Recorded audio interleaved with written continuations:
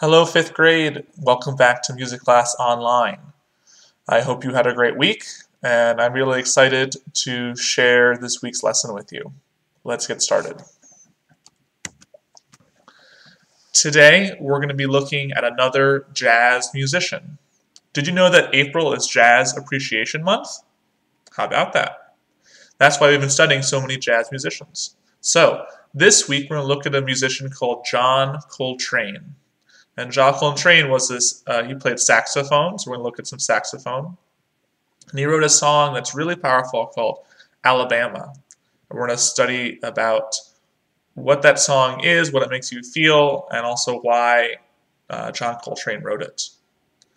Our we have two goals for today. The first is I can identify a saxophone and name its characteristics. And two, I can respond creatively to a song. Let's get started. So the saxophone is a picture of it on the screen. Um, the saxophone was invented around 1840 by Adolphe Sax, who was a Belgian instrument inventor. And Belgium is a country in Europe, sort of a little bit uh, northeast of France. Um, the saxophone is part of the woodwind family, even though the body of it's made of brass. It actually has a clarinet mouthpiece. A clarinet is another woodwind instrument made of wood.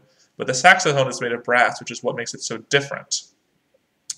Um, there are lots of different types of saxophones um, because they're played in different octaves. So there are ones that play high, like a violin plays high, and ones that play low, like a bass plays low. Saxophone players are called saxophonists. So if you ever hear that word, that's what that means. Uh, Lisa Simpson from The Simpsons plays saxophone, so she would be a saxophonist. The saxophone was originally popular in military bands because it could play much louder than other woodwind instruments. It has a very large volume. Um, it was later used in vaudeville and ragtime bands, um, and then starting in the 1920s, it was used in big band jazz bands. Um, since then, it has become, I think, the iconic jazz instrument. Whenever you think of somebody playing jazz, you usually think of them playing a saxophone. Um, one famous saxoph saxophonist um, was John Coltrane. Here's a picture of John Coltrane. Um, he, as you can see, was a African American, black man, um, and he was very famous uh, in his time. And let's learn a little bit more about him. So John Coltrane, he lived from 1926 to 1967, a, a short life. He died at age 40 of liver cancer. Um, and I think it, you know, a really tragic death for the jazz community because he was so influential. Um, he was one of the most influential and adventurous saxophonists in music history. Did a lot of new things with the instrument and with jazz. He developed one of the most powerful and explosive styles of jazz. So not something subdued, but something really bombastic, really out there, really loud. Um, a lot of his jazz music had lots of really fast notes that came in sort of waves, um, and it was described by one music critic, as, music critic as sheets of sound. So it's like it's raining notes on you. It's really heavy, like if you go on a really thick thunderstorm. It feels like that, but with music. He also was a very spiritual man. Um, his spiritual beliefs were a melding of Christian, Hindu, Muslim, and uh, Zen Buddhist traditions, and it really influenced his music. Um, he incorporated spirituality into his music, especially in his later part of his life. Um, this is a quote from him My music is the spiritual expression of what I am my faith, my knowledge, and my being. We're going to look at a specific piece of music by John Coltrane called Alabama. But before we get to that, we have to think we have to examine a piece of history that influenced that song. So I'm going to tell you about the 16th Street Baptist Church bombing. This is a very important and tragic piece of history for the United States. Um, this event happened on September 15th, 1963, in Birmingham, Alabama. Um, Alabama, as you know, was one of the southern states. Um, and because of that, it was a rallying point, and especially the church in Birmingham was a rallying point for civil rights activities in the spring of 1963. As you remember, civil rights movement was the movement of black people joined by white allies to gain civil rights for themselves. Before that point, um, black people and white people were segregated in this country, which means they couldn't be in the same spots. So, for example, white people went to a white school, black people went to a black school. White people ate at white restaurants, black people ate at black restaurants. And a lot of black people and some white people thought this was really unfair because even though things were supposed to be equal, like even though the white school and the black school were supposed to be equal, the white school sold a lot more money than the black school. Because of this, because the church was a rallying point, a meeting point, somewhere where people would gather to plan out these civil rights activities, it was a target by the Ku Klux Klan, or the KKK, which is a white supremacist terrorist organization. The KKK uh, was the most prominent organization that wanted to prevent black people from getting civil rights they viewed themselves as superior to black people. Um, and because of that, they acted in violence to suppress and to intimidate and to scare black people um, so that they wouldn't keep working for civil rights. Um, unfortunately, many people still held hold these beliefs today, and the Ku Klux Klan is still an active organization in the United States.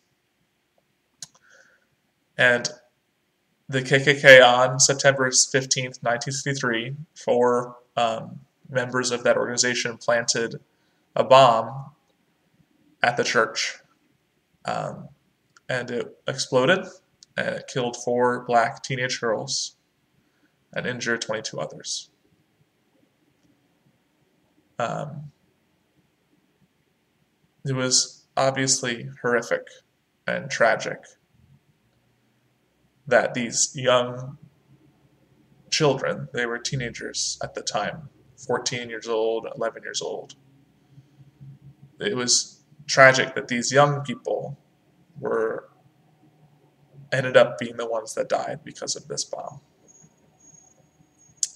Um, Dr. Martin Luther King Jr described it as one of the most vicious and tragic crimes ever perpetrated against humanity, and I think that still is applicable today.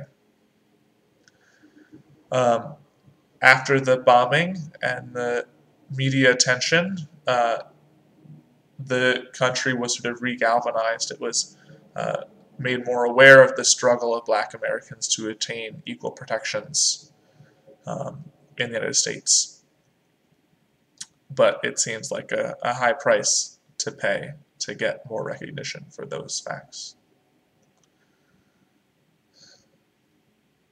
So, um, the song Alabama is one of several pieces written by black musicians um, in response to the Birmingham bombing. Another one that was inspired in part by the Birmingham bombing was the song Mississippi Goddam, by Nina Simone. Nina Simone is the musician we looked at last week. Um, this song, Alabama, appeared on Coltrane's 1963 album Live at Birdland. Um, so he wrote it very quickly after the, the bombing happened. Um, we're going to listen to the song, and I want you to be thinking as you listen to the song about what emotions words, colors, and stories the song makes you think of. Um, if you happen to have a paper and a pen or a pencil nearby, you might want to grab those. You can write down or draw while you listen. We're going to watch the video of the song um, of John Coltrane and his band playing it at a, live performance for a, a television show. So let's get started. Again, as you're watching, Remember, you're thinking about words, or emotions, the words, colors, stories, all the things that the song makes you think of. Okay.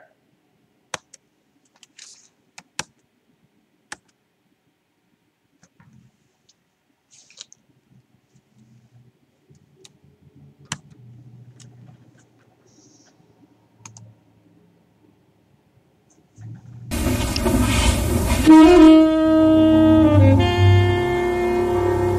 Mm-hmm.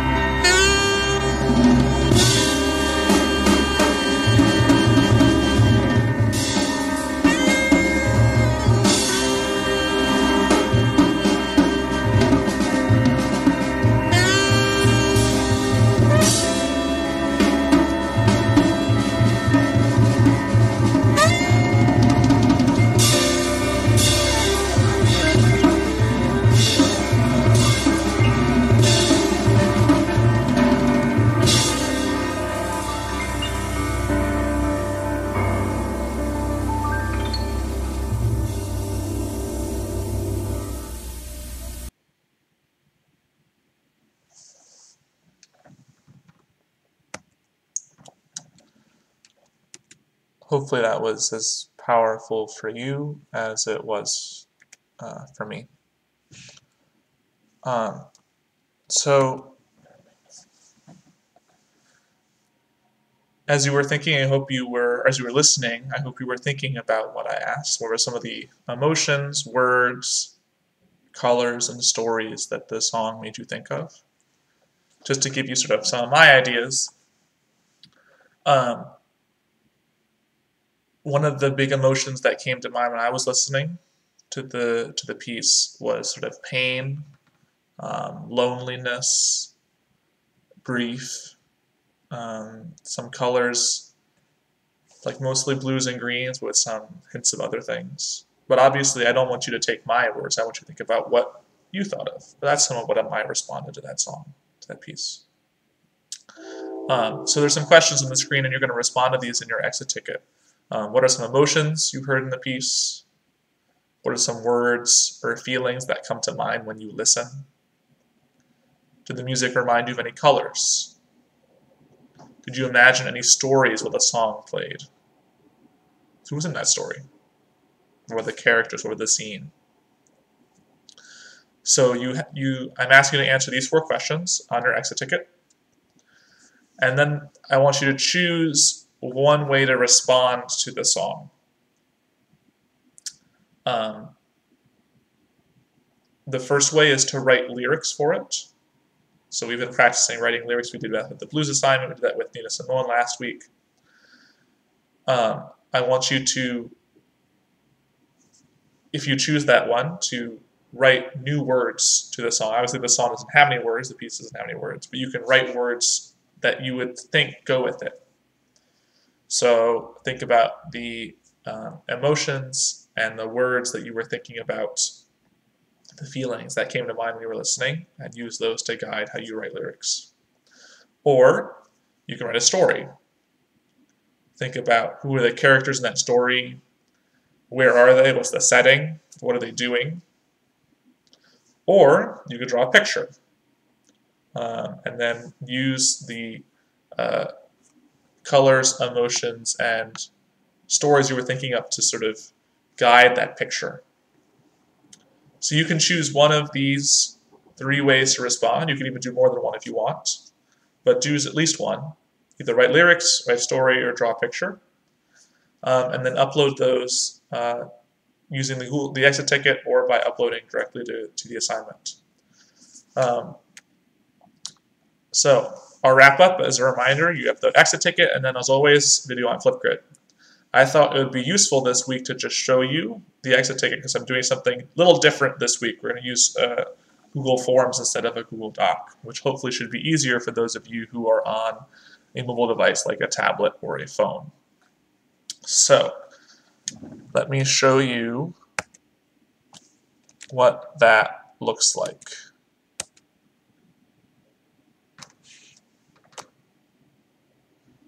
Um, so here's an example of what your lesson will look like. I haven't posted it live yet, but this is sort of what it will be. As always, I'm telling you what to do, um, give you an intro, and then saying, one, watch the lesson video. That's what this is, so you're doing that. Two, complete your exit ticket. So if I click on this link, it will open the exit ticket form. So this is a Google form. It should work on your phone or tablet as well.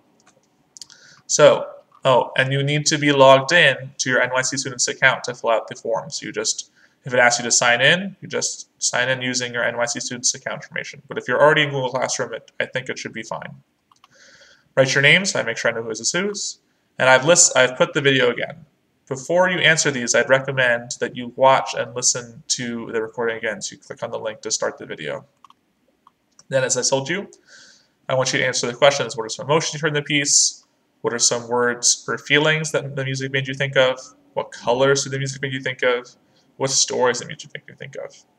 And then choose one or more of the following three ways to respond. So one, as I said, was to write lyrics. Two, write a story. Or three, draw. I put a little um, extra thing here so you can tell me if you drew a picture or not um, and how you got it to me. So if you chose to upload it to Google Classroom, then just click this first one. If you um, having trouble with that, just want to email it to me, you can do that one. And if you did not draw, then you can just click that one if you if you need to draw some, click something. Um, if you upload it to Google Classroom, you should be able to, um, if you're on a computer, click the button that says Add or Create. Um, if you're on a phone, I, I think it'll actually say Add Attachment, and you'll have to go below where it says Your Work. Um, and then you can, on a phone, you can just attachment and say Take Picture, and then take the picture. Um, if you are using a laptop, you'll have to take a picture using a device like a phone, um, send that picture to your um, laptop, and then add or create and click on File to upload that picture.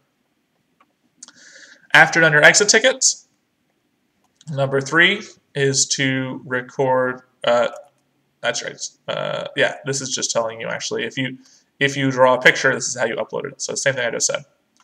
Um, if you after you've done your exit ticket, then you're doing a Flipgrid assignment like most weeks. Um, Flipgrid again, you click here. I'll take you to the assignment, fifth grade music, that's what you want. You click login with Google.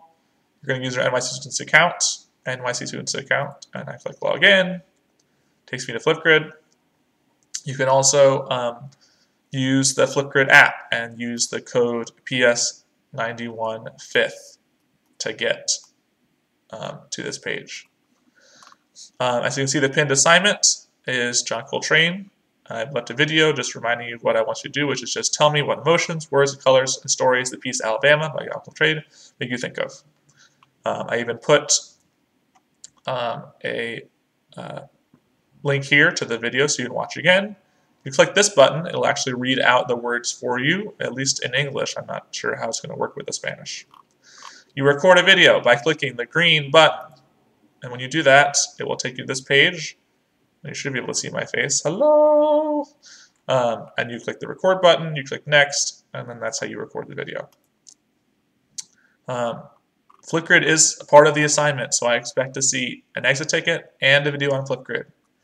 If you're having trouble doing a video on Flipgrid, take a video um, using some other method, you can just upload it um, to Google Classroom or email to me um, the same way you would with the picture. So you read the instructions number three.